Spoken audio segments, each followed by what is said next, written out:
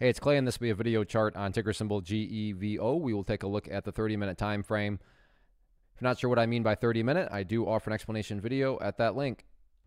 Well, another very eventful day on this one. Higher highs, higher lows, and that is the name of the game. So, in other words, definitely updates here need to be done since the last video I've done. So, the first adjustment I'm going to do is just move this level of support now up to what I would call the newest ideal level of support, and that sits at $6.50. Ideal meaning for Ask Clay, you know, what would make this chart look the absolute best moving forward? And yeah, ideally speaking, if the price can stay above 650, that would be a fantastic sign of power. Now, don't get me wrong, if the price falls below that level, that does not mean that the entire chart's destroyed or ruined or anything like that. But yeah, if the price could manage to stay up above that area, that would certainly be a fantastic sign of power moving forward.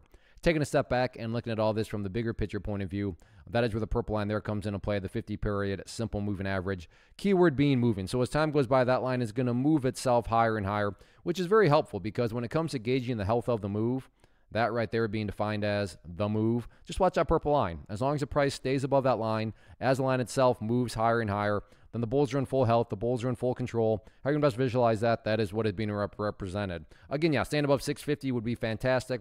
But from the grand scheme of it all, as long as the price is above that purple line, the bulls 100% own the chart.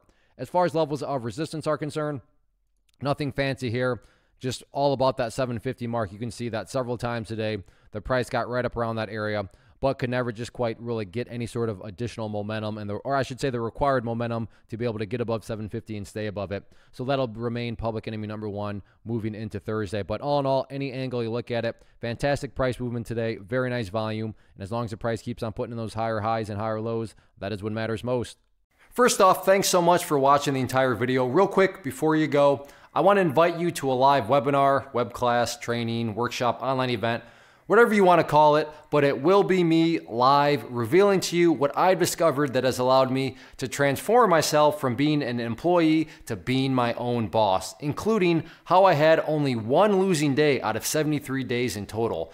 I'm going to cover three keys that have helped me unlock profitable consistency within the markets. The first key is super weird, but in a productive type of way. The second key is super awesome because it quite literally is wired into our DNA as humans, making it very easy to use. But in a cruel way, this becomes a pitfall for many traders. I'll explain it all though, including how to avoid the pitfall that it creates for some.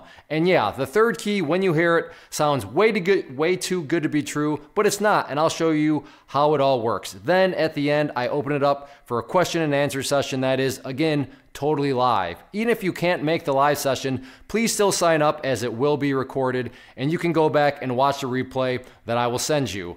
Click the image on the screen or click the link down in the description box so you can get the date and time and claim your spot, which I should note is limited due to the fact that this truly is a live event. If you have any questions, let me know. If not, I'll be seeing you soon.